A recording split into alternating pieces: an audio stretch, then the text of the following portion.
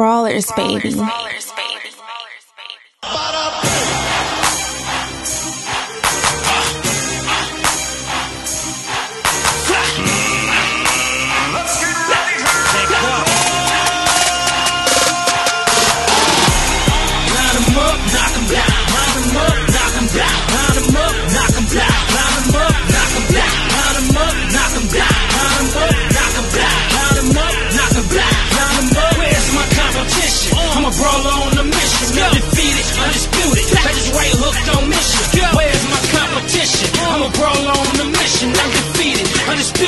just right on mission.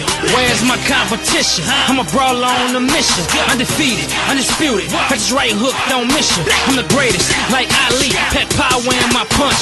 Line 'em up, knock 'em down, boy. It's really what you want. I punch you dead in your fronts.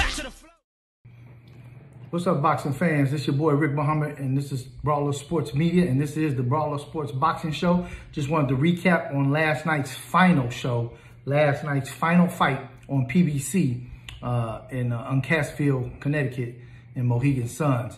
And the night ended with my man Erickson Lubin, the Hammer, versus Terrell uh, Gashi, Gache. Uh, that was a pretty boring fight uh, for about the first five to seven rounds, in my opinion. Everybody want to pity pat, touch them up. I mean, how many rounds do it take to fill a guy out? But the last five rounds, from the eighth to the 12th, got really, really exciting when both of these guys started letting their hands go. And in the 10th round, Gache had some success with, with clocking Lubin and rocked him with a straight right hand. And I was like, oh no, you know, Lubin's in trouble. But the conditioning that both of these guys was in, it was impeccable. And, and Lubin was able to recover and regroup just from his conditioning while while in camp. And, and that's that's what training is all about. Got the right people in there telling you what to do, pushing you and pushing you and pushing you. So he, he regrouped. And then in that 12th and final round, Lubin, catch, Lubin catches Gache with a right hook to the head, which almost ended it for him in the last and final 12th round. So the fight ended up getting interesting and exciting and entertaining from the eighth round on.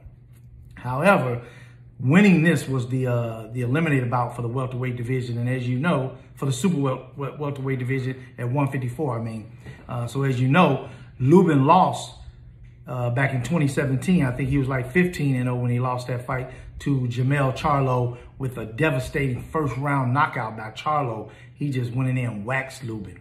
So Lubin is hoping next week, you know, they got the doubleheader on pay-per-view. Both the Charlo brothers. Jermell is uh, fighting uh, to unify the welterweight division, super welterweight division versus Jeison Rosario. So Lubin is hoping that he handles his business and do that because then Lubin becomes um, Charlo's mandatory and he gets to redeem himself from that first round knockout that he sustained back in 2017 uh, from Charlo Jamel. So Last night, pretty interesting night in boxing. Still had some good boxing. Boxing is still alive. Like I tell everybody, it's not dead. It's not going nowhere. So, hey, shh, quit saying boxing is dead, especially these MMA fans and UFC guys. Boxing, you would never replace boxing. Put it like that.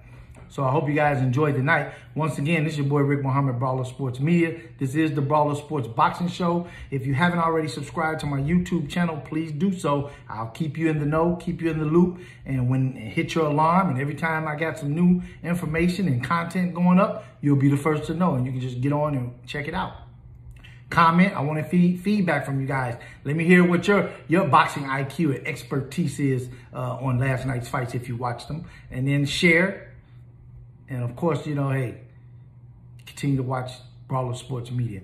That's all I have for now. See you next time. Brawlers, baby. Brawlers, baby.